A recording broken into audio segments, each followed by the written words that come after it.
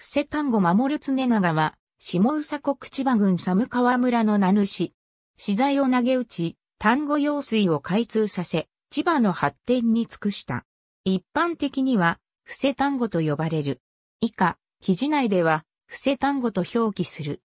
1600年代、寒川村や千葉寺村では、水不足に悩まされていた一方で、矢作村では、宮古川の洪水に悩まされていた。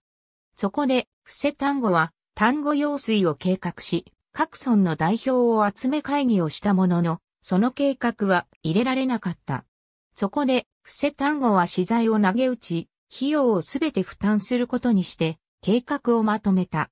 慶長17年に測量を開始し、自らも参加した。翌慶長18年には、丹後用水が着工。建設中に300メートルの崩落等があったもの、これも、また伏せ単語が自費で負担し修理させた。用水は、寛永2年に竣工し、伏せ単語は、その完成を見届けた後、3年後の寛永5年に死去した。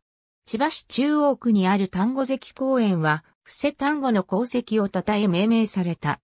また千葉寺と丹後関公園内には、伏せ丹後の功績を商用する石碑が建立されている。